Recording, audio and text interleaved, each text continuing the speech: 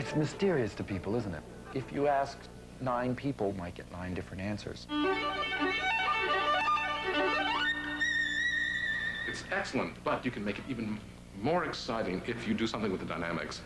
Every time you play a piece, even if it's the hundredth time that you're playing it, it's, it's fresh, because you may feel a little bit differently about it.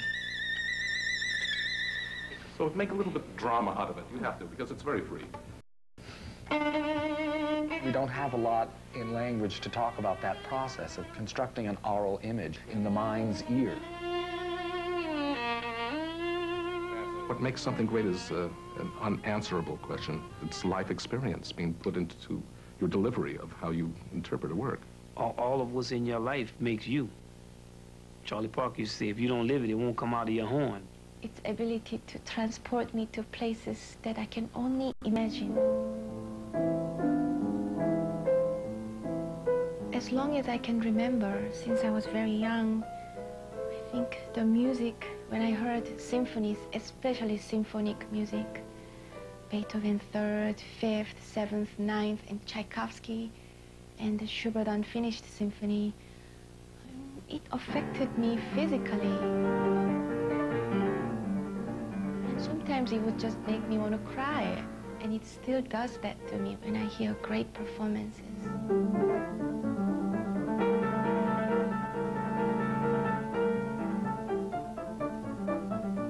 You're playing classical music, you're playing a piece of something like Beethoven or Bach. Then you're dealing with all, their consciousness.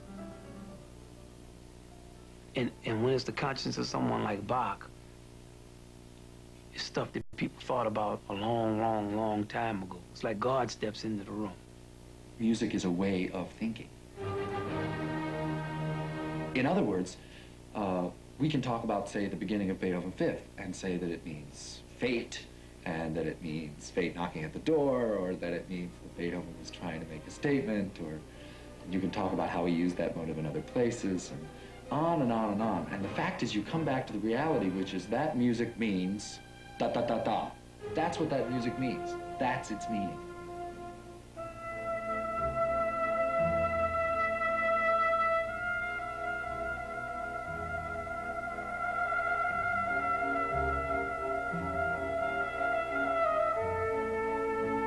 Within just even one note can change the color of your emotion from something here to there. And it is that contrast and what happens between the contrast that actually makes the structure of music. Excellent. So ba da da da da dum, ba ya da da dum.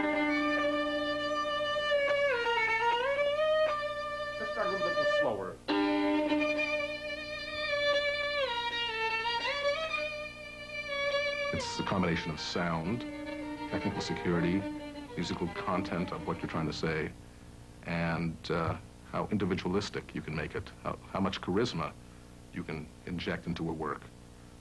I think it's a combination of all of those things, uh, an awareness of life put into your music. You're communicating.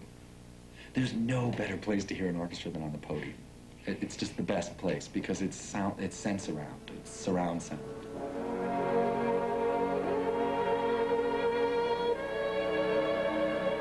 Conducting is about clear, nonverbal communication.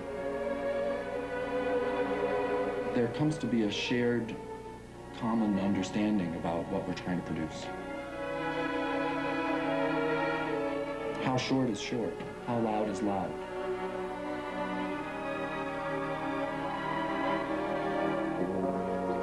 Second violins here, maybe it wasn't clear the other day. It should be the first half of the bar piano with crescendo, second half of the bar forte. And I'll cut you off. Okay, and could we go back to 178? 178, please.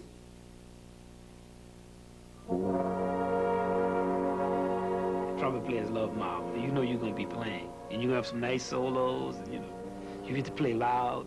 That's mainly a lot of times on our, what's on our mind. Can we play loud?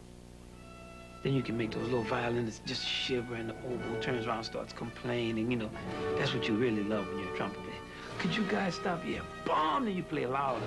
Conductor's hand starts coming up before you come in. When they come to the concert hall, you hope that, one would hope that they're going to be moved, moved in an emotional way, not just being dazzled, because I think that technical dazzle wears off very quickly. When the time comes that you have to perform, somehow I have to train myself to forget about myself and forget about whether I am good or I am bad. But hopefully that I can flow with the music, the sound and the rhythm of the music and the energy between the performer and the listeners. I hope they enjoy it. That's all I ever hope. It's like if you come to my house and I fix a meal for you. Hope you like it. You say, man, let's go back there.